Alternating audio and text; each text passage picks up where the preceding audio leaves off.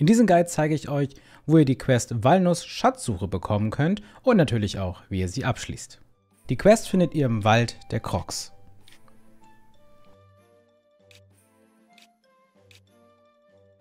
Damit man zum Questgeber hinkommt, geht man erstmal in den Dekobaum rein. An dieser Stelle nutzt man dann den Deckensprung. Der führt sogar zu einem geheimen Raum, wo man noch eine Nebenquest finden kann. Darum geht es aber in diesem Video nicht. Und wenn ihr in diesem Raum seid, nutzt ihr nochmal den Deckensprung, um nach oben zu kommen. Ihr könnt aber auch einfach außerhalb vom Dekobaum daran hochklettern.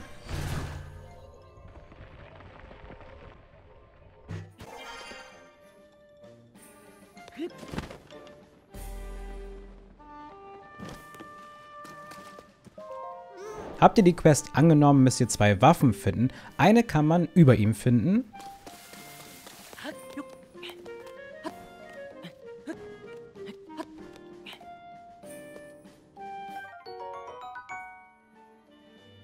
Und um die zweite zu bekommen, kann man einfach von hier aus rübergleiten.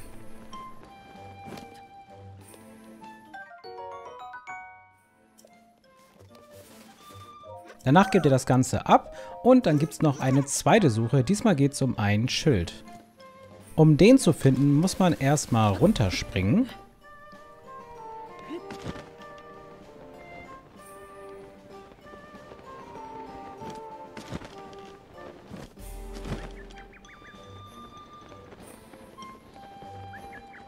Und gleitet dann zum Eingang vom Dekobaum. Denn nicht genau über dem Dekobaum-Eingang kann man den Schild finden.